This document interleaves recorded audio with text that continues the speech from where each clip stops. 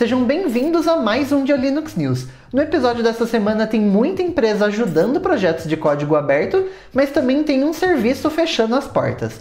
Mas bora para as notícias?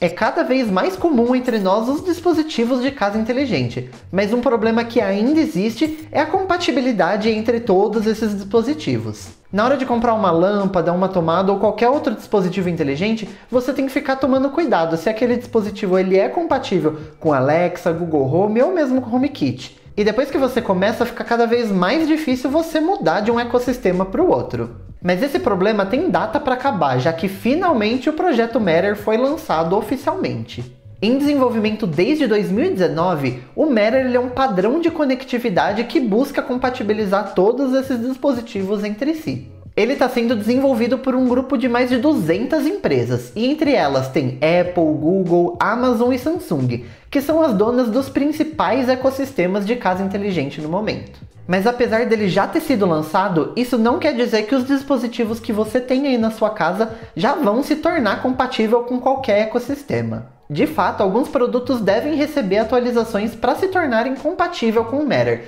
mas nem todos eles vão. Isso depende muito de cada empresa e de cada produto. Mas a partir daqui, o ideal é você só comprar produtos que suportem o formato Matter. Assim você não fica preso em um ecossistema ou você precisa trocar todas as lâmpadas da sua casa se você decidir mudar o sistema operacional do seu celular, por exemplo, né? O OBS é um dos projetos de código aberto mais populares da atualidade. A grande maioria esmagadora dos criadores de conteúdo utilizam ele, seja para fazer live ou para gravar vídeos. Por ele se tratar de um software gratuito, uma das maneiras de manter o desenvolvimento é através do apoio de empresas. Se juntando com YouTube, Logitech, Twitch, Nvidia, agora o Stream Elements é a mais nova empresa a fazer parte desse time de apoiadores. O Stream Elements se tornou um apoiador do nível diamante, o que quer dizer que ele vai desembolsar no mínimo 50 mil dólares por ano. Se você não é familiarizado com lives, talvez você nem conheça o Stream Elements, mas ele é uma das ferramentas mais populares entre os streamers. Através dele você consegue adicionar efeitos, alertas de seguidores e até mesmo doações diretamente na tela da sua live. Ele ganhou muita popularidade por ser uma plataforma na nuvem, onde você garante que vai funcionar ininterruptamente e sem precisar de mais um software rodando na sua nuvem, consumindo recurso que você poderia estar utilizando para o próprio OBS ou mesmo para um outro software, como um jogo, por exemplo. Outro projeto que também tem um esquema de apoio pelas empresas é o Krita. O Krita é um software de ilustração digital de código aberto desenvolvido pela comunidade do KDE, mas ele está disponível para Linux, Windows e macOS. O Krita ele conta com um fundo de desenvolvimento e o principal objetivo no momento é manter cinco desenvolvedores em tempo integral trabalhando no software. Mas diferentemente do OBS, aqui você também consegue assinar se você for uma pessoa física. O plano mais barato é o plano bronze, onde você paga 5 dólares e 80 centavos por mês. E o plano mais caro é o plano diamante, onde você paga 290 dólares por mês. Mas é claro, ele também conta com um plano corporativo que não tem um valor fixo.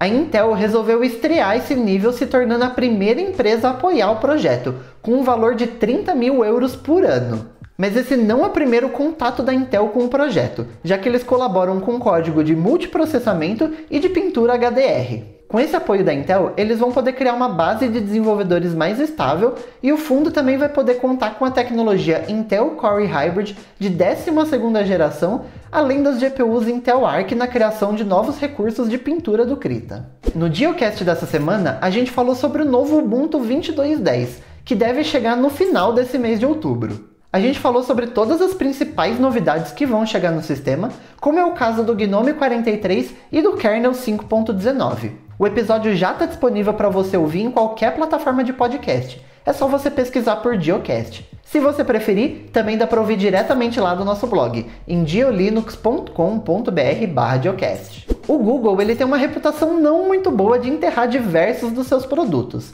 A mais nova vítima é o Google Stadia, que está agendado para morrer no dia 18 de janeiro de 2023. Para quem gastou dinheiro tanto no hardware quanto nos jogos, o Google prometeu que vai fazer um reembolso de tudo, mas não vai contando já com esse dinheiro porque o Google afirmou que esse processo de reembolso ainda deve levar alguns meses para alguns usuários. Existem diversos motivos para o Google Stadia não ter dado certo. Um deles é a limitação de região. Ele estava disponível em só 22 países e a grande maioria na América do Norte e na Europa, e não tinha nenhuma previsão de chegar aqui no Brasil. Outro problema era a questão dos jogos. Para jogar no Stadia, você precisava comprar os jogos em preço cheio, a 60 dólares lá nos Estados Unidos, e você só podia jogar através da plataforma do Stadia. Enquanto isso, se você comprar um jogo no Steam ou no Epic Games, você consegue rodar em qualquer computador, inclusive o Steam Deck, e você também pode jogar ele na nuvem através de um serviço como o GeForce Now, por exemplo. A questão da conexão também era um problema. Como você só podia jogar pela nuvem, qualquer instabilidade ou queda na sua internet já era gameplay, né? Juntando tudo isso com o fato de existir competidores como o Game Pass, que com uma assinatura você tem centenas de jogos no computador, no Xbox e na nuvem, fica um pouco difícil de justificar o Google Stadia. Mas apesar do fim do serviço, o Google prometeu que esse não é o fim da tecnologia. Eles afirmaram que ela é útil não só para jogos e deve ser aplicada em outros serviços, como YouTube, Google Play e realidade aumentada. Bora pro Drops? Para você que, assim como eu, é louco da produtividade, uma dica é utilizar macros de teclado para realizar ações repetitivas de maneira simples. Para isso, existe o AutoKey, um programa de automação de digitação para Linux. Um ponto a se ressaltar é que ele funciona exclusivamente com Shorg. Então, se você utiliza o Wayland, você vai precisar fazer essa modificação para conseguir utilizar o AutoKey. A gente preparou um tutorial completinho lá no blog ensinando a instalar e utilizar ele e o link você encontra aqui na descrição. Ainda nas dicas para produtividade, se você utiliza muito terminal no seu dia a dia, talvez valha a pena dar uma olhadinha no Fig. Não confunda com o Figma. O Fig ele é uma ferramenta de linha de comando que se integra com os shells mais populares, como o Bash, o ZSH e o Fish, e ele permite que você utilize comandos de maneira mais eficiente. Entre as várias funcionalidades, a principal é a de autocompletar, que enquanto você está digitando um comando, ele aparece uma lista de outros comandos, assim acelerando o seu processo. O Fig no momento está disponível para macOS, mas existe uma lista de espera para as versões de Linux e Windows, que devem chegar em breve. A gente conta mais sobre o Fig lá no blog, e o link está aqui na descrição.